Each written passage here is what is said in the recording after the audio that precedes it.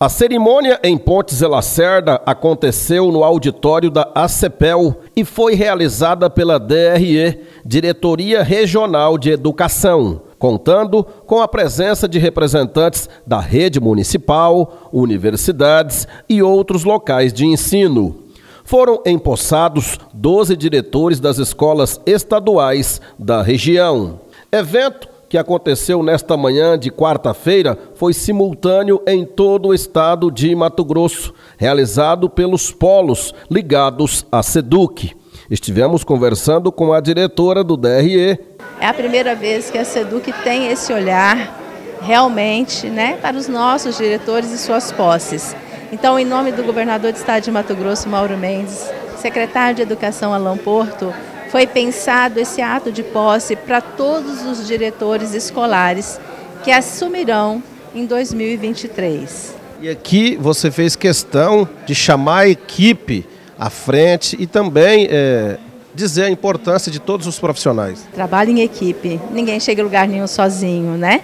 Nós temos é, muito trabalho, nós temos as nossas conquistas individuais, mas a gente também tem as nossas conquistas em equipe.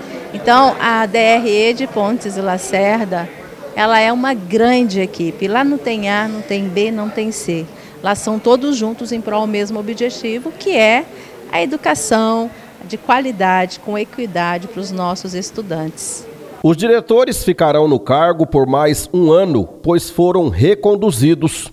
Paulo César é o diretor da Escola 11 de Agosto, do distrito de Santa Clara do Monte Cristo, Ponta do Aterro, em Vila Bela da Santíssima Trindade. É um compromisso que nós, diretores, educadores, temos que assumir junto às comunidades escolares, na sua localidade, com as suas dificuldades, né? Eu sou da Ponta do Aterro, da 11 de agosto, e lá, como é a Escola do Campo, costumo dizer que lá é a última porta. Então, quem bater lá não pode sair sem resposta.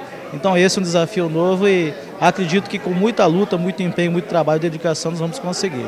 A professora doutora Tereza Pazos foi convidada especial e esteve palestrando para os novos empossados. Uma honra, um privilégio muito grande.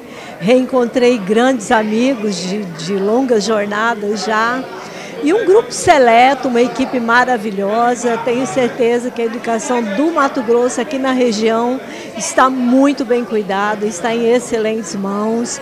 Eu vi aqui grandes profissionais que estão aí à frente né, da, da nova proposta do governo e foi uma maravilha. Foi, estou muito, muito feliz e muito grata pelo convite.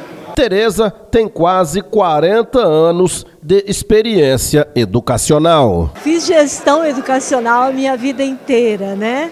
E ao longo dos anos a gente vai acumulando algumas experiências, é, coisas que deram certo, coisas que não deram certo. Mas enfim, compartilhando um pouco desse aprendizado que eu fui construindo no contato com pessoas, na gestão de pessoas, é, ensinando e aprendendo, porque a gente nunca só ensina, a gente mais aprende do que ensina, mas compartilhando experiências de uma forma muito prazerosa. Foi, estou muito, muito feliz mesmo.